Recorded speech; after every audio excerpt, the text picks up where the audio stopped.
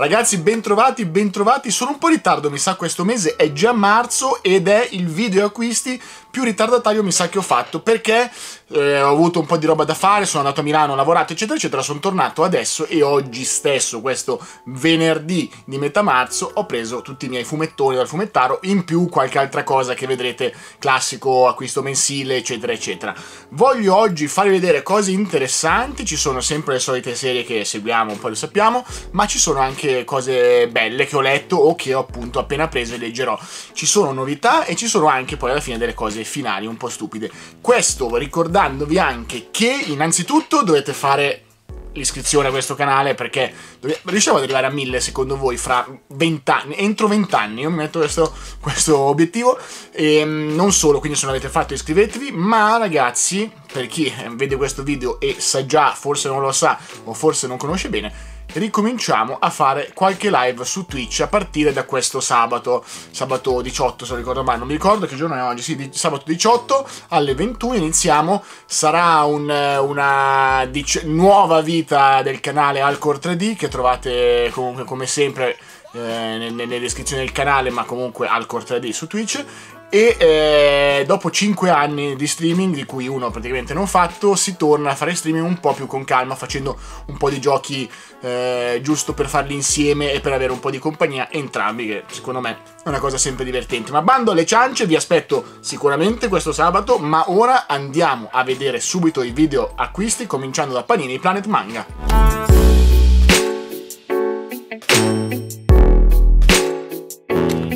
Planet Manga, ragazzi, parte subito con qualche serie che era indietro da un po', ma che abbiamo già pareggiato facilmente. Per esempio, sto parlando di Spy Family, di cui qua vedete il numero 9, e ovviamente anche il numero 10. Spy Family che adesso esce ogni tanto, quindi non esce più con la stessa cadenza di prima, hanno rasciato ovviamente fino adesso, e adesso si sta un po' rilassando, e secondo me la vedremo fra un po'. Ero rimasto un po' indietro perché sono quelli che non vedi quasi mai, poi quando li vedi in fumetteria dici ma l'avrò preso. Sakamoto invece Days col, 4, col numero 4 e col numero 5 rimane uno degli shonen secondo me più carini dell'ultimo periodo. Leggerino ha una um, stupidino ha una narrativa sottesa del non poter parlare. Sakamoto sapete che per chi lo legge non parla in realtà parla solo col pensiero insomma per chi lo legge lo sa. Mm, divertente, banale, leggerino, però una di quelle cose che hanno fatto tanto anche per promuoverlo e ci sta dentro. Devo dire che la Palini ha fatto comunque un'ottima mossa. Anche qua due numeri, ragazzi, cambiamo completamente tematica con Dai Dark col numero 4, guardate che belle le copertine della Yashida ragazzi, e il numero 5, Dai Dark appunto della, della Kua Yashida, che è quella che ha fatto Doro e Doro e mh, la storia chiaramente di Die Dark, fino almeno al numero 3 che ho letta, è meno secondo me potente di quella di Doro e Doro, ma comunque sempre intrigante e comunque sempre eh, i disegni spaziali. Io ribadisco una delle mie, perché lei all'inizio non si sapeva, adesso si sa, una delle mie disegnatrici preferite eh, fa delle tavole, adesso io non so cosa vi sto facendo vedere, però fa delle tavole veramente stupende e vi dico, secondo me con Dore d'Oro aveva dato il massimo. Questa è comunque una bellissima, una storia carina anche questa, divertente, insomma, cioè invece Dore d'Oro c'era anche un po' di cose. Beh. Andiamo avanti perché? Perché l'ho letto l'altra volta e mi è piaciuto con Bentornato Alice o Alice, come volete nominarlo. Bentornato Alice, vi faccio vedere i due protagonisti, ma anche la terza protagonista, perché questo manga tratta di un triangolo amoroso fra questo ragazzo e queste due ragazze, un ragazzo che è innamorato e vedete queste due ragazze in copertina. In realtà però questa ragazza che vedete in copertina non era una ragazza prima e si basa, era il migliore amico di, del protagonista. Si basa su questa tematica, un po' questa storia, questo intreccio, questa sorta di ehm, pizzicorino, voglio spiegarvelo bene, è una storia che dà queste, a questi ragazzi, a questi giovani, le prime turbe sia giovanili che chiaramente un po' eh, mentali, no? comunque questa sorta di saper, dover decidere che, mm, cosa ti piace, chi ti piace, qual è la propria sessualità, eccetera, eccetera. È molto carino. Devo dire che non, non me l'aspettavo, ma mi sta piacendo. Come mi è piaciuto anche l'altro di Yoshimi, eh, che vedrete poi nei futuri acquisti. Mi sta piaciucchiando anche Mieruko-chan. Mieruko-chan, che l'altra volta nell'altro video acquisti avevate visto con numero 1, eh, con gli adesivi in omaggio tratta questa, della storia di questa ragazza, per spiegarvelo un po' meglio, che vede gli spiriti che popolano questo mondo, brutture, cose anche cattive così, ma lei non vuole far sapere agli spiriti che li vede, quindi vive nel tentativo di ignorare tutto ciò che vede per evitare di essere vista a sua volta o notata dagli spiriti che capiscono quindi che lei vede, li vede e quindi chissà cosa potrebbe succedere. Quindi lei vive facendo, ignorando e facendo chiaramente in modo che anche gli amici che non vedono gli spiriti ignorino queste presenze ed è carino anche questo. Non è un horror vero, eh, sappiate, cioè è un, è un horror stupidino, tipo Dan Da Dan per dire. Ho trovato anche interessante My Home Hero, questo è il numero 3, forse ve ne avevo già parlato, non mi ricordo se ne avevo già parlato, però mi sembra di sì, il padre che... Eh, comunque deve aiutare la figlia che si è mischiata in cose mafiose, diciamo così. Numero 3 l'ho preso, è uscito già il 4, ho visto, non ho ancora fatto in tempo neanche a leggere il numero 3. È carino perché comunque la storia è abbastanza seria, ma neanche troppo, quindi dà anche questa, questa sorta di inverosimile che fa sempre piacere. Con calma vado avanti anche col numero 2 di Evangelion, nuova edizione, che ha questo bellissimo posterino dietro che ovviamente non ci sta nel manga che esce e ovviamente essendo questo manga per contenere il posterino tutto in celofanato il celofan intorno è quello stretto stretto stretto che chiaramente rovina tutti gli angoli dei posterini. Io questa cosa qua mi fa salire un crimine incredibile e quindi meglio che non ci penso Evangelion numero 2 anche Soul Eater la Mega Super Red Deluxe Edition Ultimate Deluxe numero 2 ehm, devo ancora leggere l'1 ok non che Soul Eater no, no, non ho mai finito di vedere, questa è una confessione che devo farvi, non ho mai finito di vedere e penso che non lo finirò mai di vedere, ma lo leggerò sicuramente. E devo dire che la nuova edizione è bella e profuma, profuma di manga nuovi.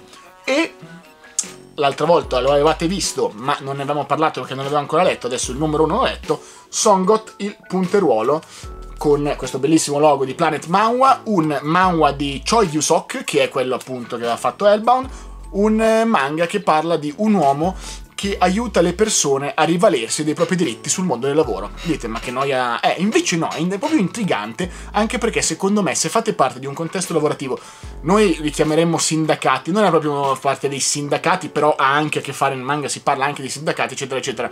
Um, qua è chiaramente molto estremizzato, molto romanzato, però in realtà ha questa cosa verosimile che ti rende quasi mh, partecipe, no? Perché hai viste queste cose, certe situazioni, dice, mannaggia, ha fatto bene a farli uh, fare queste cose. In più c'è anche tutta la storia che chiaramente, sapete, c'è un po' di eh, malavita. Eh, vedremo come andrà a finire, quindi è, è, più appunto romanzato. Questi erano i primi manga della Planet Manga, ma due novità, oltre a quelle cose che vedrete alla fine, che sanno parte, lo sapete, delle variant, ma due novità che oggi mi sono fatto consigliare dal fumettaro e che non ho ancora letto, quindi ne li vedremo e poi ne parleremo più avanti. primo è The Witch and the Beast, mi ha raccontato un po' la sinossi, The Witch and the Beast tratta di, questa, um, eh, di questo personaggio che arriva in questa città eh, e che sembra che in questa città vada tutto molto bene, fin troppo bene e forse questa città è dominata appunto da una eh, strega. Eh, sta, adesso poi devo chiaramente leggerlo, questa è la sinossi che mi ha detto, ma la cosa che mi ha fatto prendere chiaramente questo manga, anche perché comunque mi sembra la, della trama una trama classica, sono appunto i disegni. Mi ha detto, va che i disegni sono, va, valgono veramente, adesso cerco di farvi vedere un po' senza distruggere il manga, perché ricordano un po' quelli di Claymore ultimo, ultimo livello, diciamo, Claymore finali. E, ehm, e in effetti sono veramente, veramente belli e anche un po' crudi, un po' pesanti, mi piace lo stile, poi ve ne parlerò. E l'altro che mi ha intrigato, ragazzi, questo l'ho preso per la copertina e un po' per la tematica. Vi ricordate, tanto tempo fa avevo comprato un manga che si chiamava Alma, post-apocalittico, le macchine che dominano il mondo nuovo contro l'umanità. Ecco, questo qua, la trama, avendo letto è un po' quello, si chiama Heart Gear, un mondo dominato dalle macchine, bla bla bla. Ma non ho ancora letto anche questo, guardate raga, solo la copertina io ho detto, mm, è troppo bello. Poi all'interno non è così, eh, non è tutto così, però ha delle tavole, questa, vabbè, questa è la tavola facile, questa è la tavola della copertina, ha delle tavole veramente belle, ma mi mm, ha detto il fumettaro che ricorda mm, un po' Nier Automata come chiaramente eh, ambientazione. Questo l'ho preso sulla fiducia. E direi che per ora Planet Manga è finita, possiamo passare alla Star Comics che oggi ha un po' di roba.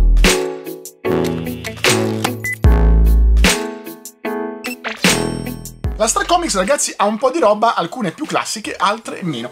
Per esempio, classica 97 di One Piece edizione bianca. Sapete, io faccio edizione bianca. si continua con la trama, si va avanti. One Piece, um, boh, possiamo dire che ormai per chi lo legge chiaramente è una costante della vita? Non lo so, lo leggo da talmente tanto che non mi ricordo neanche appunto quando ho iniziato e um, potenzialmente potrei anche arrivare alla, vecchia, alla vecchiaia e è sempre bene. Poi andato, mi è piaciuto il numero 1 e quindi si va avanti con Ayakashi Triangle. Ayakashi Triangle, ragazzi, che vi ho detto l'altra volta di Kentaro Yabuki, eh, autore di Tolov Ru, eccetera, eccetera, è una storia che tratta chiaramente anche qua un po' alla Ranma mezzo dei tempi, le vicissitudini di questo ragazzo che per una maledizione si trova a diventare ragazza e combattere cose, bla bla bla. È carino, è ammiccante, è simpatico, è una cosa comunque molto leggera, quindi una lettura che se vi piacciono quei manga di una volta, un po' ammiccanti, ma non troppo, eh, proprio leggero come Ramma, più o meno così, questo sicuramente fa il caso vostro. Arriva poi il cofanettone, finalmente l'ho preso, ma lo volevo prendere da mesi, poi ogni volta, ma la prossima volta, la prossima volta, e alla fine l'ho preso, il cofanettone di Ariadne in the Sky with Diamonds. No, Ariadne in the Blue Sky, scusate, co contenente i primi quattro numeri eh, di Ariadne perché mm, io non ho mai nascosto anche questo, non, eh, non avevo mai letto nulla di, di, Yagi, ho iniziato con Claymore appunto e mi è piaciuto molto, mi sta piacendo molto Claymore, proprio anche come storia, come ambientazione, eh, per quanto non sia, Claymore lo paragono spesso a Berserk, non c'è nulla di più lontano secondo me, Claymore da Berserk, non è la stessa, anche il tono, non è la stessa cosa, però è molto bello, molto avvincente. Questo è un altro dei, dei, dei grandi capolavori di Yagi, come sono, sono dire, e mh, mm, volevo leggerlo. Tra l'altro ho la variant del numero 1 uscita a Lucca, ma non l'aprirò perché si, si rovina e quindi l'ho preso. Vi farò sapere, devo dire che eh, sono molto curioso perché questo appunto è iperquotato. Questo è un cofanetto da 20 euro con i primi 4 numeri, dovreste trovarlo ancora, forse, non lo so. Poi Belli il bellissimo, ragazzi, incredibile, immancabile. Children of the Whales, numero 21. Stiamo arrivando alla fine. Raga, io ve lo dico sempre, se questo fumetto, se questo manga di Abi Umeda avesse avuto la stessa storia, ma senza due o tre personaggi, tra cui Chakuro che è il protagonista, sarebbe stato un grandissimo manga. Purtroppo eh, non, non, riesco più, è un altro di quei manga che ce la faccio più. Non vedo l'ora che finisca. Basta. The Adventure of Die, ragazzi, il numero 4 era, era fermo da un po', non la vedevamo da un po', perché sapete è stato annunciato che è stato chiuso eh, per varie vicissitudini dovute a problemi mm, eh, di, mm, come si dice, di localizzazione, cose del genere. In realtà oggi parlando proprio col fumettaro mi diceva che non è proprio così. In realtà diciamo che c'è una questione di allineamento, non vi sto a spiegare tutto perché è una cosa lunga e complessa, c'è una questione di allineamento globale dell'edizione, quindi diciamo che il Giappone vuole che, mentre l'edizione italiana, ok, va bene, però anche nel resto del mondo devono un attimo sistemare delle edizioni e quindi riprenderà, ah, riprenderà comunque, cioè non è dimenticato lì e non sarà dimenticato lì, eh, ci vorrà forse un po'. No, ultima novità della Star Comics che l'ho presa ragazzi perché stavo tornando da Milano in treno e non avevo niente da leggere one shot, volevo una cosa tranquilla e lo sapete, entro a Mondadori, ci sono tante cose, ma quando leggere una cosa one shot sul treno per far vedere a tutti i tuoi viaggiatori che hai intorno quanto sei cafone e ganzo, devi prendere Giungito, ovviamente. Ho preso la, la Zona Fantasma, che è chiaramente l'ultima, l'ultima opera uscita di Giungito, con una copertina, ragazzi, bellissima, dorata, un po', un po' serigrafata, non so come si dice, un po' ruvidina. Zona Fantasma, anche qua, contenente una serie di storie, storie che Giungito stesso di, dice ha raccolto negli anni, perché adesso non sa più cosa scrivere. Questo, io, sono tutti manga che ormai a un certo punto dicono io non so che cazzo scrivere.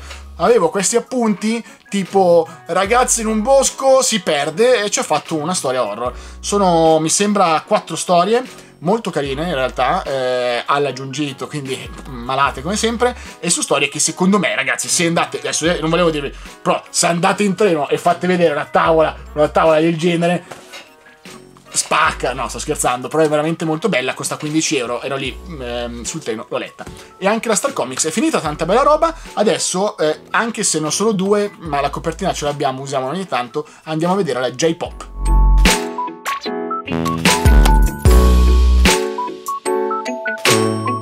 La J-Pop, ragazzi, ci porta due numeroni. no, non è vero. Il primo è Tsugumi Project al numero 3 Tsugumi Project è un altro di quei manga post-apocalittici, di questi mercenari mandati in un Giappone ormai distrutto. Questo qua incontra una ragazza con una T. Vabbè, eh, è una cosa molto figa. Purtroppo esce di morte di papa, quindi ogni volta devi mm, ricordare, sapete, la sindrome del ricordo, ricordare cosa è successo. Eh, però eh, mi piaceva, adesso è sempre iperconsigliato. Se uscissi, io aspetterei magari che finisca. Poi. Mh, mm, No, non è che mi vergogno, però non lo so. Allora, dall'autore di Tokyo Ghoul, lo sapete, Chujin. Chujin X. No, ragazzi, eh, questo, lui. Allora, con all'interno una bellissima, una bellissima fake Polaroid che riprende la copertina, che riprende anche la prima pagina all'interno, quindi è un po' tutto uguale Ehm, non ho mai letto, ho letto tre numeri di Tokyo Ghoul, poi avevo smesso. Molti mi dicono, ah, stupido, dovevi leggerlo tutto, è molto bello. Non mi aveva entusiasmato, questo mh, mm, devo dire che mi sono fatto trasportare dalla copertina. Adoro le copertine fatte così, pulite. Ganze, bianco con rosso. Ma eh, vediamo se questo dicono che sia un'opera un po' più l'autore chiaramente di, diciamo su Ishida da lui è un'opera un po' eh, meno pesante no? quindi potrebbe essere interessante da leggere un po' più tranquillamente. Vediamo un po' vi, vi, farò sapere vi farò sapere. Se lo vedrete ancora vuol dire che mi è piaciuto. Questa era J-pop. Andiamo però prima sulle altre marche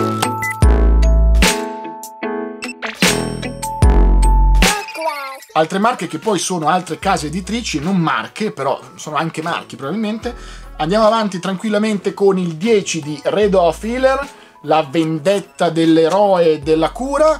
Eh, mi sta un po' annoiando, un po' sempre la stessa roba. Ci sono pochi.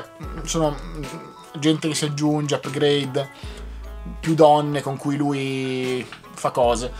Eh, adesso c'è una storyline interessante dove penso si arriverà verso il finale, lui deve, ha una missione, penso arriverà, però niente di che. Non sono quelli... Questo tra l'altro è un ecci un po', un po' pesante, no? Perché si parla anche di cose pesantine, sono mm, tematiche un po' brutte a volte. Però non è quegli ecci che una storia secondo me è devastante. Evitabile. Se siete, se siete ancora decisi, indecisi, si prenderlo, evitabile. Invece, questo però, questo non potrò parlarvene tanto, perché adesso ho, ho già completato la serie però magari ricordatemelo, oppure venite su Twitch e dite com'era. Ho preso SM6S o, so, o 6M, che il numero 1 e il numero 2. Copertine, ragazzi, interessanti e imprescindibili. È un manga che parla chiaramente del sadomasochismo e a vedere cose interne non è niente di... Mm, non è niente di porno innanzitutto, non è niente di esagerato, è credo un altro di quei manga stile Nana e Kaoru che si avvicinano a quel mondo e ne vogliono parlare. Sono due numeri, vediamo un po'. Mm, non mi aspetto niente di che, però imprescindibile. Ultimo, ragazzi, nella Ishi non sapevo dell'esistenza di questa eh, casa editrice che tra l'altro propone una cosa eh, che era prima della J-pop, se lo ricordo male, ce l'ho qua dietro, ma direi che era della J-pop. Diamo per buono che era J-pop. Eh, non ho ancora finito neanche quello, però lo volevo prendere comunque perché mh, mm, a proposito di vita da slime a, a spasso per Tempest. Della Ishi, quindi preso dalla Ishi, che è una storia parallela, una, no, una storia parallela, una storia aggiunta di vita da slime con una cartolina, anche qua un po' cartonata, serigrafata. La volevo, volevo la cartolina, mi piace vita da slime, devo finire ancora l'altro, con calma lo finirò, eh, però intanto abbiamo anche questo. Basta, questa era la J-Pop. No, eh, altre case editrici. Andiamo ragazzi per ora agli acquisti speciali.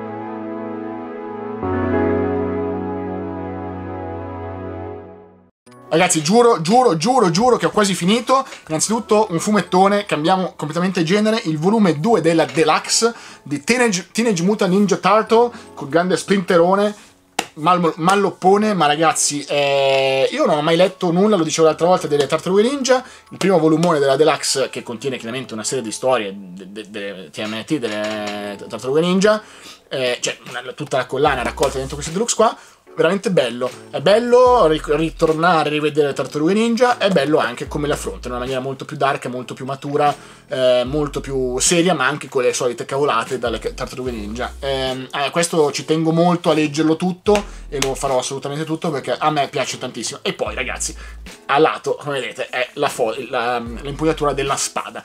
Poi arriviamo finalmente alle cose fighe, lo sapete, è uscita la variant di Blue Lock Panini col, con la rovesciata Panini, una delle iniziative secondo me delle variant Panini più belle a livello anche concettuale, poi non è così unica, però è bella, un manga che parla del calcio con la variant dedicata alla casa editrice che lo produce con la rovesciata classica che abbiamo sempre visto quando, fino a quando eravamo bambini. Bella, mi piace come variant e finalmente mi dà l'opportunità di leggere Blue Lock, che mi è stato consigliato. Ho sempre snobbato perché a me del calcio mi frega un cazzo. Dopo gli Benji per me è finita lì. Il mondo finisce, inizia, inizia e finisce con gli Benji. O su Capitan Subada, scusate. Però a questo punto. La, con, con, calma perché non voglio rovinarlo, magari tolgo la, la, la variant. Vorrei provare a leggere anche Blue Lock. Che mi hanno detto è un manga sul calcio, ma non aspettarti troppo calcio, c'è anche altro. Vediamo un po'. Poi invece, ragazzi, arriveranno altre variant che ho acquistato e vedrete nei prossimi acquisti. Ma intanto della Games Academy, Games Academy e Fanside la variant di Non tormentarmi Nagatoro numero 1. Guardate che carina questa variant. Anche qua pagata a tutto, ragazzi, poi qua ribadisco, a me piacciono tantissimo, lo sapete, le variant prese il 99% prezzo di copertina, tranne una che avevo presa a 10 euro al posto di 6,90 euro, perché era più bella, e perché non si trovava. E, ehm, però questa è carina, Era, non, non, so se è ancora disponibile, però se volete andare a vedere su Games Academy, eh, se c'è, eh, questa è la variante molto molto carina di Non Tormentarmi Nagatoro, che lo sapete mi piace, quindi bellissimo. Il tutto con allegato, chiaramente tutti questi acquisti qua, l'ultima card mensile di Bungo Stray Dogs, che come vedete è la carta più brutta, ma no, non, è, non è vero, però insomma è l'ultima carta che tra l'altro io Bungo Dogs non lo leggo, ma potrò non prendere l'8 di 8 visto che, cioè, vedete? Non si vedono lassù, non si vedono, sono tutte lì esposte, è, è prescindibile, tocca. E questo ragazzi era quanto, ma prima di andare via, innanzitutto ragazzi ribadisco, sabato in stream Hogwarts Legacy in si inizia, finalmente anch'io potrò giocarlo. Qualche fan del K-pop? Non lo so. Ho, ho, fatto. Si parla chiaramente di acquisti in questi mesi, quindi li vedete adesso semplicemente perché ce l'ho qua. Ho acquistato, ragazzi, Endwurf delle MX su Vinted. Vinted, posto dove prendi tutte queste cose a prezzi stracciati. Admire, sempre delle MX, che sono le due, le due album. E anche Antifragile delle Le Seraphim, che sono album bellissimi. E io, essendo fan del K-pop, ho anche questi, ho anche questa collezione. Basta, non vi dico più altro, spero che vi siate divertiti, vi ricordo ovviamente come sempre di iscrivervi al canale, voglio vedere mille, ribadisco, entro poco, quindi dai, facciamo questa iscrizione, ci vediamo la prossima volta, spero settimana prossima con un video della Spagna, e voglio farvi anche un video su come metto i manga in libreria, ho preso il polistirolo per me vi, vi, spiegherò, spero di riuscire a fare. Intanto ci vediamo anche se no su Twitch domani 18 se ci siete, quindi sabato, eh, oppure nelle prossime volte. Vi ringrazio come sempre per la visione e a presto.